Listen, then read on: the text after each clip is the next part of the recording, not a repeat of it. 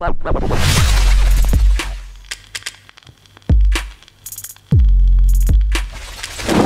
guys, welcome to another video. I'm Lewis and above me is Jordan. Um, today we're going to look at five options that could replace Sergio Aguero. Now I know he's got another year left, um, but just thinking ahead, guys. There's nothing wrong with be, about being proactive, and that's what we're doing. Now, to be fair, City've been linked with like quite a lot of strikers recently, and as we all know, there's some really good strikers out there at the moment, and they all seem to be pretty young as well. So um, we're just going to go through the five that we, we like, um, all cost a bit of money, um, and then you can let us know what you think. So let's kick it off. Who we got first? Erling Haaland. Uh, This guy has been on the rise recently, especially this season. He's been smashing it for Dortmund. Yeah, yeah. Uh, guy's only 19 years old as well. He just looks like an absolute natural clinical finisher. Like it's insane. He, he- I think everyone has seen him because because he's mega at the moment. He's like the new rising star, and it's you can see why.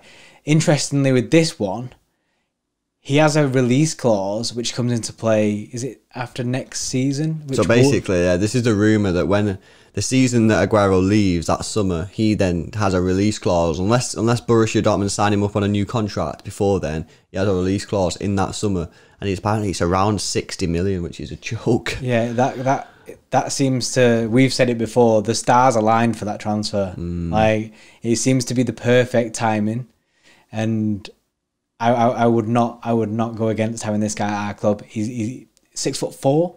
He's Hmm. massive, but he's also pacey as well.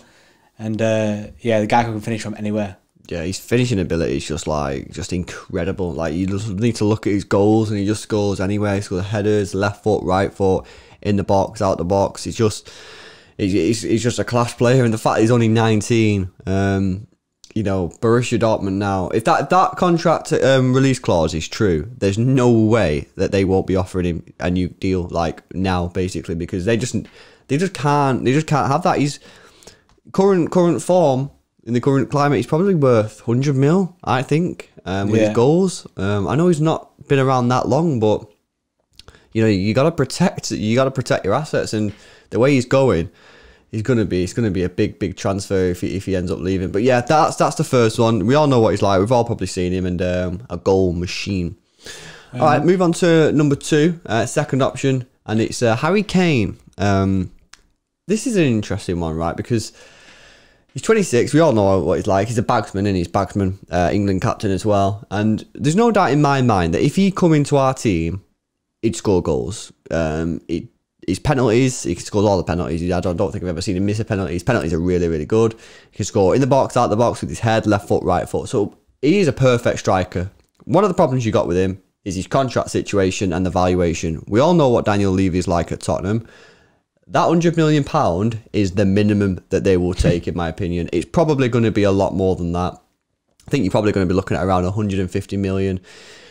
I think it's a great option, guys. Um, it is a, it is expensive, and you know whether you prefer Haaland, I don't know, but he's going to come in and he's pretty much going to guarantee your goals. He knows the Premier League, so you're going to have no issues there. He's played Champions League as well.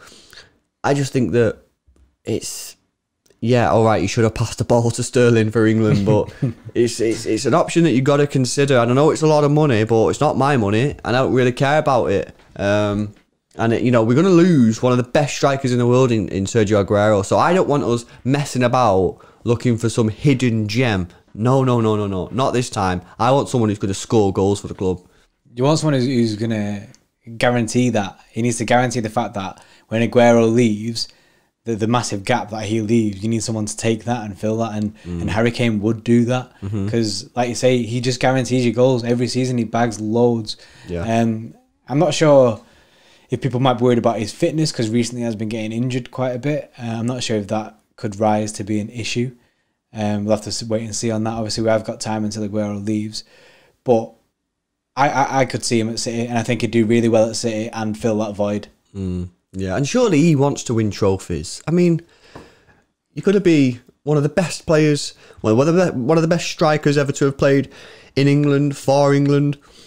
Um, and what you're just gonna has he has he ever won a trophy? just- just not win anything. Has he maybe won the League Cup one year? I am not sure, but he's you know surely the back of his mind is like, yeah, I want to be loyal to Tottenham, but I've got to, you got to look after number one, aren't you? And I think he's going to be looking for the exit door pretty soon.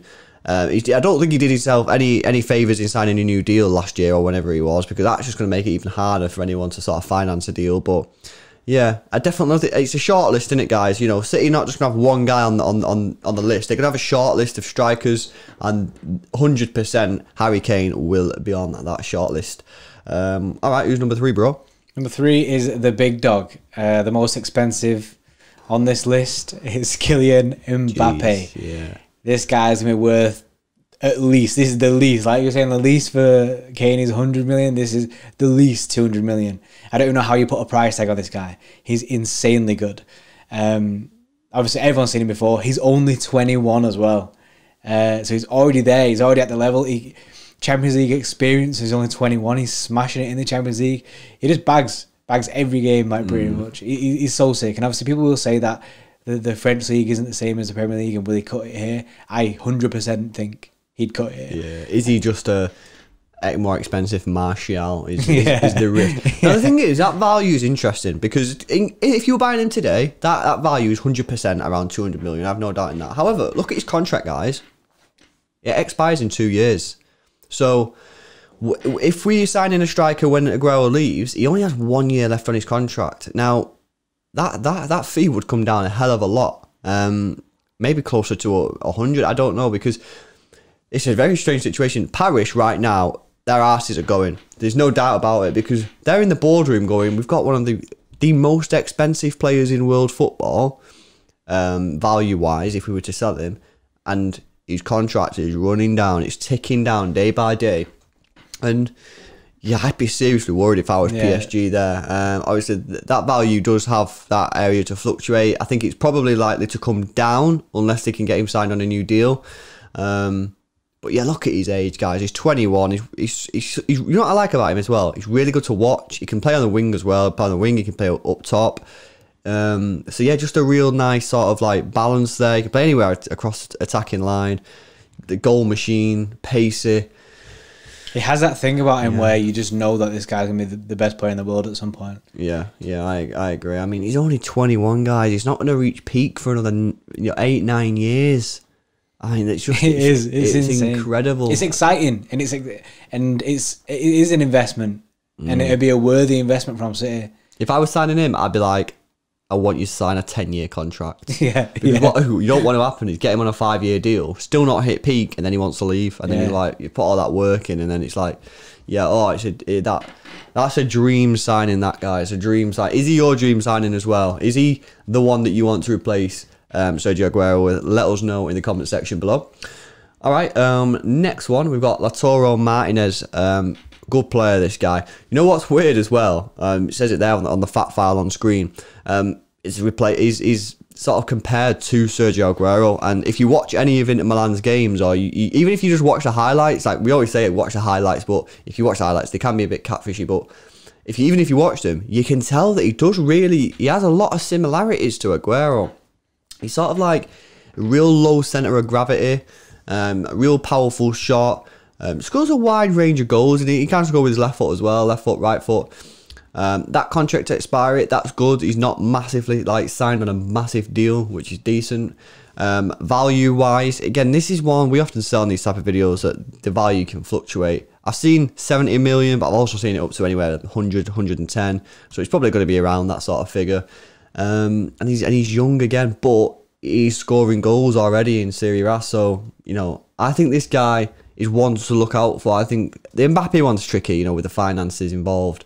Um, you know, he's going to want big, big wages as well. But this guy, I think, I think this guy could, could, could be an option. Could be an option.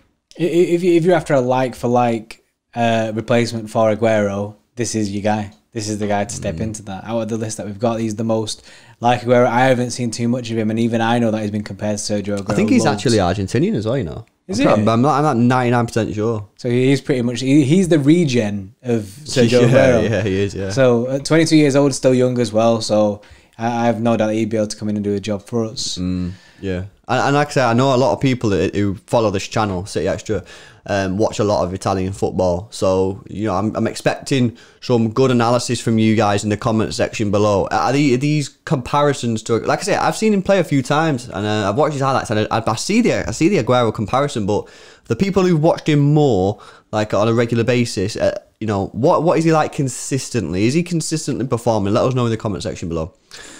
Have we got one more? Time Yes. flies, doesn't it? Yes, one more. Uh, Mm, okay, a interesting. play of our own, isn't it? Uh, big Gabby Jesus. And I think it's more obviously we've put an estimated value there of around sixty million pound. Not obviously because we don't we don't have to buy the guy. Mm. So this is the the this had happened if say when G when uh, Aguero leaves, Jesus takes Aguero's place, and we then sign a player to take Jesus' place. Mm-hmm. Uh, so obviously, I don't think we'd be looking at a player that we've shown today. Um, I think it's more about proving himself. I think that's wh- where we'll see. We'll see end of next year. We'll see where we're at with him to be mm. able to say, right, yeah, we need to go in and get someone. Yeah, yeah, absolutely. It's a it's a bit of a shame that he's had this rough patch this season. I think it was nine games without a goal he went through, so that was a bit of a disappointment because that's not obviously done him any favors in terms of taking over the sort of the number one striker position at City. But look, he's still got a few games left this season. Um, obviously Aguero's out, which is you know bad for us, bad for the club. But for him, he's got to be selfish and he's got to be greedy and, and say, look, this is my time to shine. And then he's got next year. Um, Aguero's probable last year at the club, and Jesus then you know it'll be difficult because he's got to battle Aguero. But when he gets in, he's got to be he's got to be performing. I know there's I, I'd probably say there's more City fans now saying that this is not an option than there is people saying it is an option. However, if he's to convince anyone that it is an option, he's got basically one season left to do it, and next year he's going to have to start being more clinical in front of goal. Um, I know, I know that he works well for the team, and, and sort of the team can play well when he's in the side. But he's got to be, he's got to be more clinical next year. Um, if there's any chance of him taking that striking position, because at the moment, I don't, I don't think that's going to happen. But if there's any chance of it next year, he's got to just, he's just got to get better in front of goal for me, he? Yeah, it's a pivotal season for him. It's a make or break for Jesus in that sense. Because if someone comes in and then Jesus is still second choice, uh, I, I think he'd be starting to question his his career at City because he's, he's going to want to be playing games. He's going to want to be our first choice striker. Uh, I love the guy and I hope I hope he can do it. Um, I want to. I want to. I'm not you. I want to believe. I, at at the moment in time, I'm thinking I, I, I'm not seeing it, but I want to believe that he can be that guy. But I just need to see a bit more, bit more clinical in front of goal. Jesus, that's what I'm saying. Yeah, no, I agree with you. We, we have this belief that he can be that player, and I'm sure there'll be other City fans there who who have that same belief that we do. Also be players that saying that we're stupid for believing that, and we need to sign someone. Um, is there anyone that we've missed off this list? Because if there has, then let us know in the comments. Um, if you haven't already, make sure you hit the subscribe button, click the notification bell to get notified every time that we go live. And we'll see you next time.